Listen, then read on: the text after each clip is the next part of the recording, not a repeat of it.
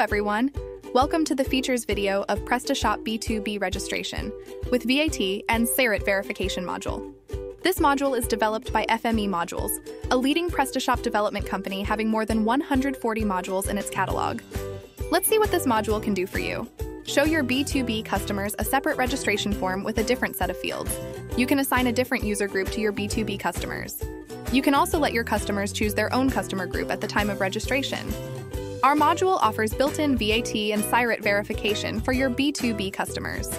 A number of field types are supported by our module. Let's see PrestaShop B2B registration module in action. Here we have multiple registration options for the users. All of these have different registration forms with different sets of fields. Let's take a closer look at this one. Each set of fields are grouped under a different heading. You can allow users to select their own customer groups. Here is the VAT verification field. As our module supports different field types, here are a few of them. This is a yes slash no field. This one is a drop-down selection. You can also make dependable fields like this one, meaning the next field will depend on the selection made by the user. You can also show different CMS pages on each registration form. You can also include a CAPTCHA to cater spam. Let's quickly fill out this form.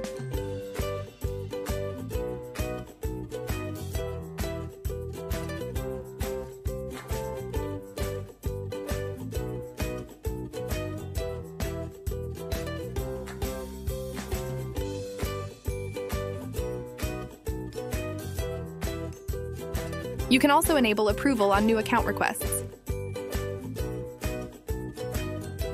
Let's see the backend configuration for our module.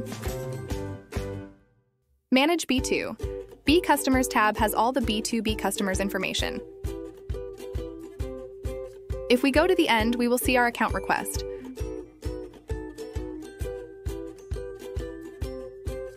Opening it will show information entered by the user.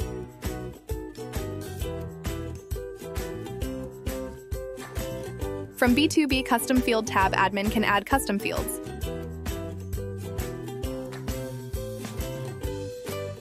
B2B Profiles tab contains all the registration profiles. Let's create a new one. We will name our profile as Wholesaler.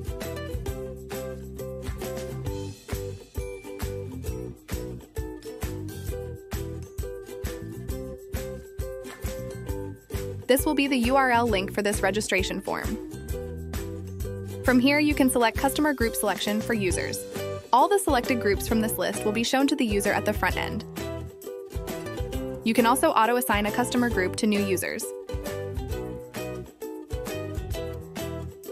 There is an option to enable auto-approval for new registration requests. Enabling this option will allow custom fields to be shown on the form. You can also customize field headings.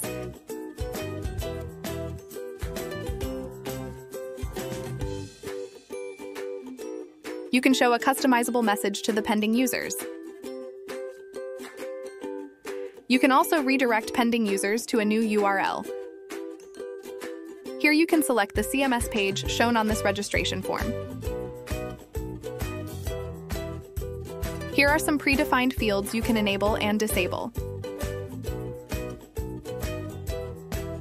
Here we will input the text shown in the header.